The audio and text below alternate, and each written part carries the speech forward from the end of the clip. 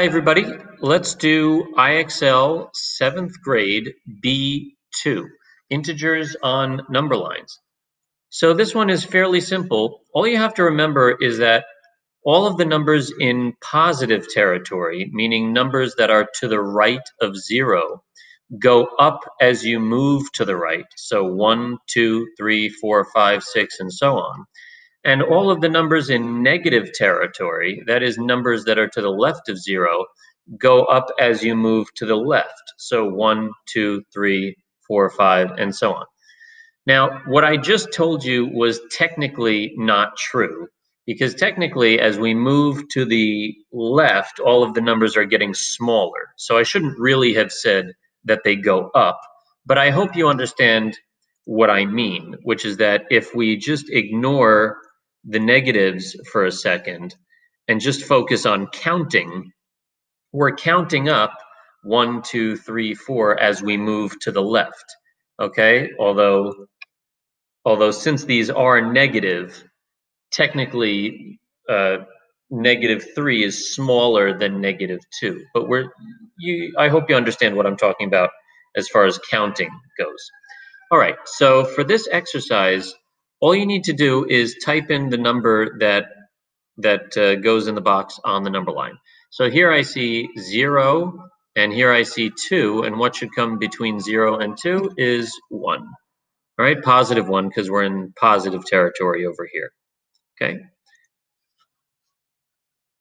Let's see here, zero, one, two, three, four, five. So really, this is a very simple exercise it's just intended to give you an intuitive understanding of the number line so you, that you can draw it on a piece of paper and also see it in your head. All right, so here's zero, one, two, three, four. Are they going to give me any negatives? Yeah, here we go. Zero, negative one, negative two, negative three. All right, and again, I'm in negative territory here. Here's zero, so then this should be negative one and negative two. All right, let's do one more from this level. Again, these are both in negative territory. So zero, negative one, negative two, negative three, negative four, negative five. All right. Okay, let's move on to the next level, see if we get a different type of question. Okay, so for this problem, I don't see where zero is, um, but clearly I'm in negative territory because all of these numbers here are negative numbers, right? So I just have to remember that I'm counting up as I move to the left. And again, technically that's not true because as I move to the left, you know, I'm really the, the numbers are going down, so they're getting smaller. In other words, negative 48 is considered to be a smaller number than negative 46. But I hope you understand that what I really mean is that we're counting up. So again, if we ignore all the negatives, right, then it would be 42, 43, 44, 45, 46, 47, 48. So we're counting like that. So after 43 here should be 44, but remember that was, I blotted these out, but that should really be a negative 44. So don't forget to put that in.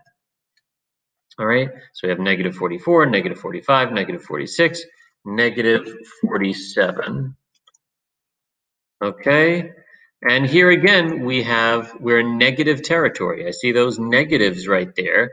So I'm just going to count like this, negative 27, negative 28, negative 29, negative 30, negative 31, negative 32, right? So these numbers, again, technically, we're moving down on the number line because whenever we move to the left on the number line, that's quote unquote down.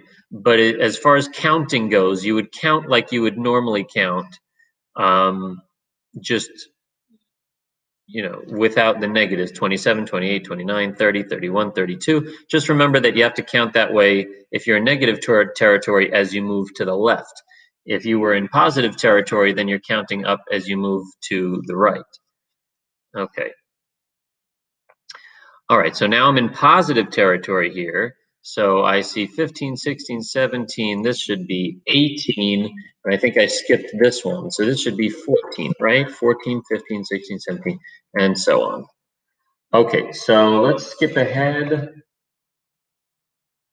Okay, so now we are counting by fives, it seems, right? So we have in negative territory, the numbers, if really what I should be saying is I if we talk about the absolute value, so the absolute value of negative 5 is 5, the absolute value of negative 15 is 15, the absolute value of negative 20 is 20. So if I just focus on the absolute values of these numbers, then they're going up as I move to the left if I'm in negative territory. So this would be 5 and then 10, but now I have to remember that the negative 10. And then if I'm in negative territory, as I move to the right, the numbers would be going down. So if this is negative 10 and this is negative 5, then this should be 0 because that's five, high, five spaces to the right of negative 5 is 0. All right, it looks like I'm counting by tens here in negative territory. So that means that the absolute values are going up as I move to the left. So, oh, I'm sorry, I'm not counting by tens, I'm counting by fives, right? So negative 60, and then this would be negative 65, negative 70, negative 75, negative 80, right? Let's see, what are we counting by? It looks like we're counting by twos here. So in negative territory, you can see the absolute values are going up as we move to the left. In positive territory, the numbers are the numbers and the absolute values are going up as we move to the right. So 0, 2, 4, 6, 8, and so on. Okay, let's skip to the next level. Alrighty, uh, looks like we're counting by twos here. Again, in negative territory, the absolute value of the numbers, right, which you can just think of as ignoring the negative signs for a moment. The absolute values are going up as we move to the left, even as the numbers are getting smaller because they're negative. The absolute values, meaning we, if we ignore the negatives for a second, are moving up as we go to the left. So negative 78, if I'm counting by two, the next thing would be negative 80. And then in negative territory, territory, as I'm moving to the right, the absolute values are getting smaller. And again, I'm counting by twos. So 74, 72, 70. This would be 68, but that's a negative 68. All right, and then negative 66. Okay, let's move on to the next level. Oh, there is no next level. All right, so I'm going to end the video there. Um, have a great day.